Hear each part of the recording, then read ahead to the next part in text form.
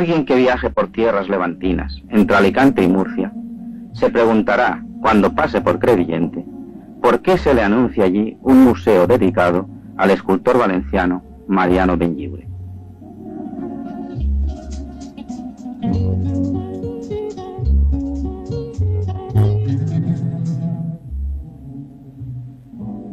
Debe saber que en esta ciudad están los yesos donados por la familia Benlliure a la familia Magro de Crevillente, amistad surgida cuando se encargó al eximio escultor el paso de las tres Marías que debía completar el cortejo de la Semana Santa crevillentina.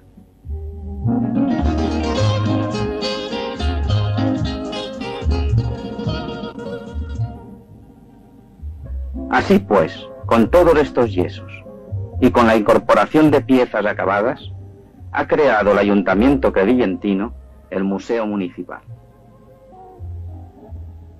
En sus salas encontraremos para nuestra enseñanza obra de yeso que el escultor creó directamente, en enjundiosa premura, bajo el rapto apasionado de una impresión directa. Por eso, quien quiera conocer el impresionismo escultórico de Benllibre, tendrá que admirar estos modelos entrañables, instintivos, realizados bajo la pasión de unas manos inquietas que desean captar en yeso la belleza de lo fugaz.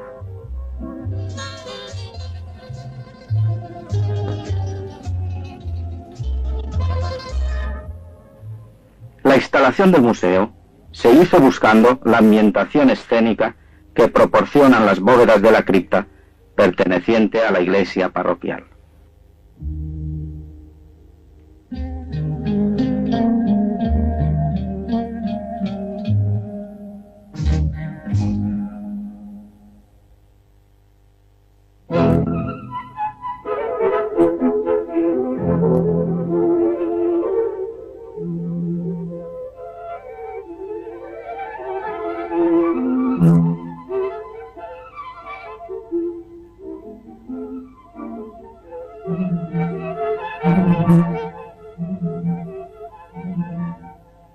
Aquí tienen su entorno glorioso las obras de Benlliure que se distribuyen en interesantes salas de jugosa evocación literaria. La sala de los monumentos públicos, la sala de la Belle Époque y la sala de imaginería religiosa.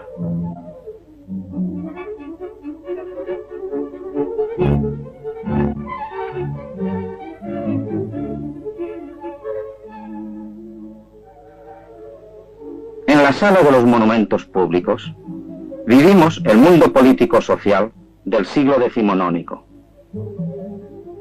Mundo que confía en los prohombres, en la ciencia, en el progreso, en la técnica, en la libertad. Los monumentos a Canalejas, a Ramón y Cajal, a Fortuny, pueden ser reflejo de una época que todavía creía en los hombres y en el futuro.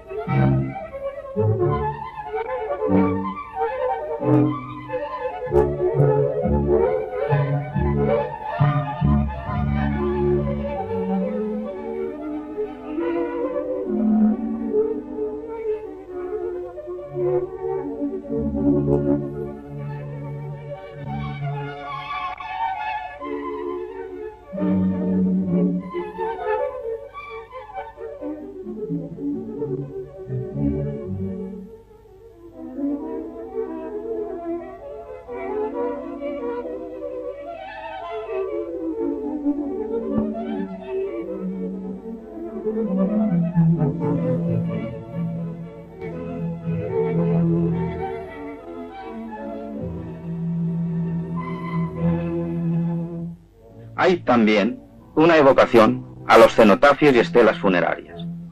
El siglo se prestaba a la ostentosa escenografía de la muerte.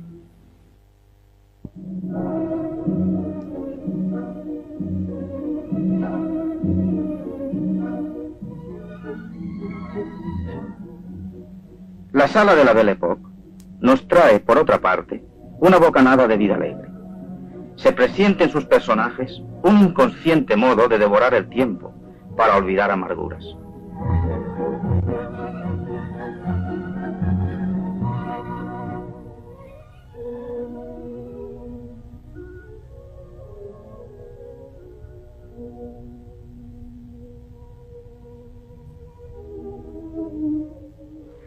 Nos llega el vivo resplandor de Cleo de Merod, Lucrecia Arana, Pastora Imperio.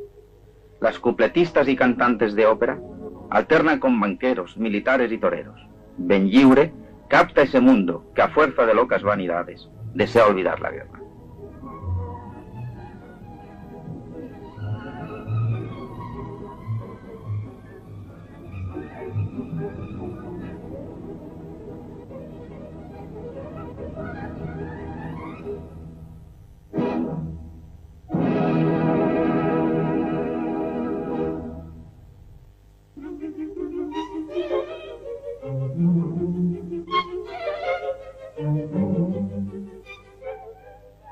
Pero junto a este desgarro hedonista, descubrimos la imaginería religiosa de la otra sala.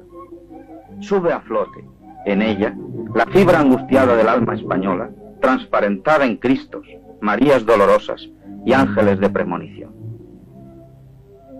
Hay que pensar que al escultor le atraía representar el agudo dramatismo de los rostros protagonistas de la pasión del Señor, a los cuales sabía imprimir un gesto de divina fatalidad.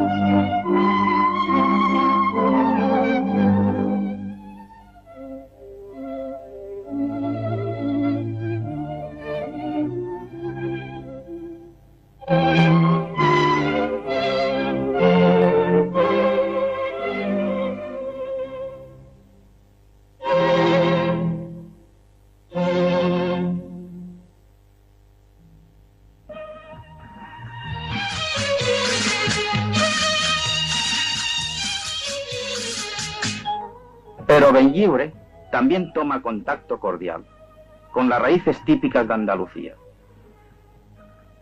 Cautiva al artista el ritmo, el halago sensorial de un folclore que permanece vivo. Ritmo de bailaora que desgarra su pose, volcando al aire sus íntimos sentimientos.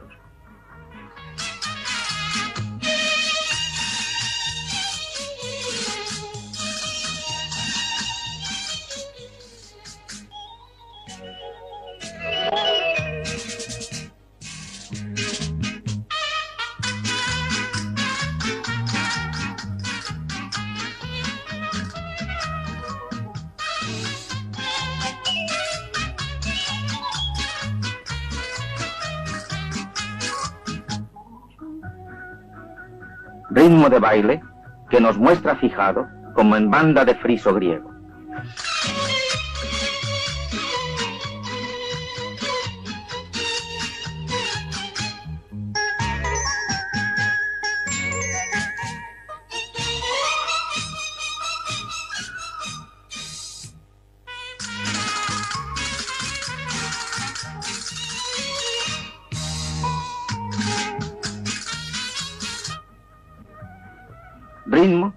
Figuras camperas del mayoral y los toros. Estampa mítica del toro que nos advierte de la desesperación y de la muerte.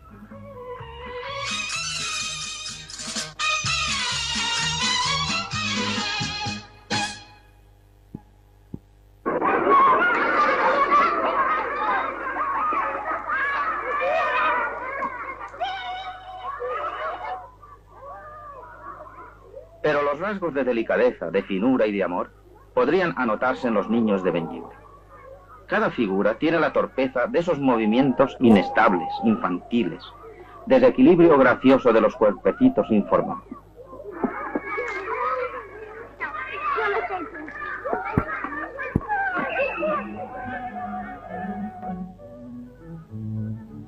El barro se reviste así de una angelical blandura, como pidiéndonos que acariciemos en la terracota la carne de los niños que corretean y caen mansamente.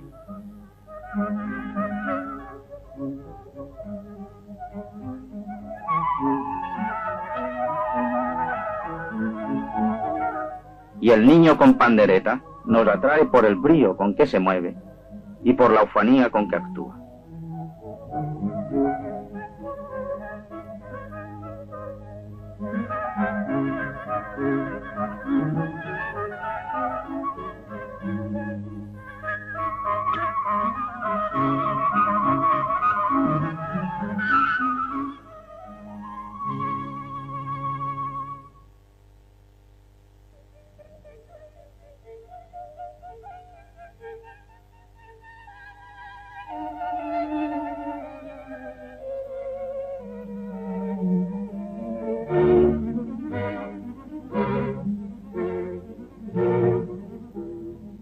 Finalmente, observemos la técnica del escultor.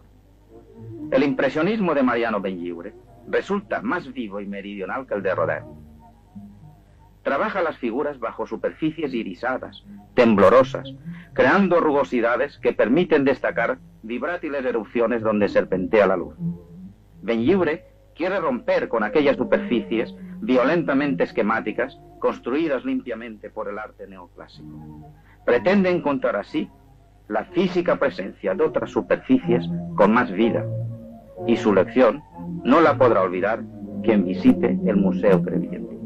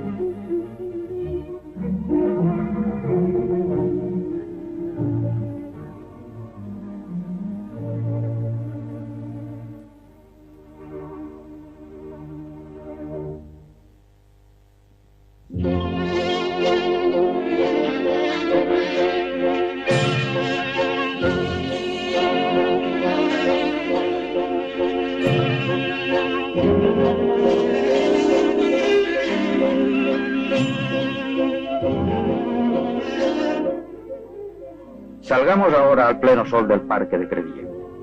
Sintamos el mundo como prolongación de esas animadas figuras del escultor que vibran ante la luz. Gocemos del paisaje mediterráneo. Y entonces comprenderemos que este sol, sentido en la piel, es el que Benlliure buscó impresionar en las superficies frías del mármol o del bronce.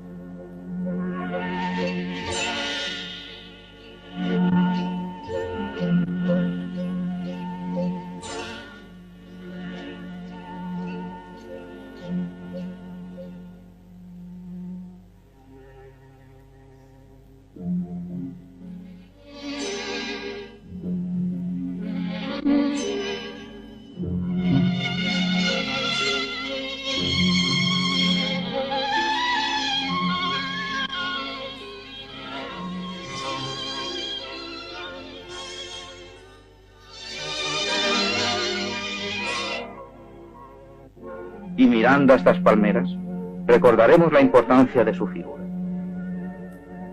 Una personalidad que destaca entre la masa de artistas de su tiempo porque supo ascender a buscar el impacto de la luz.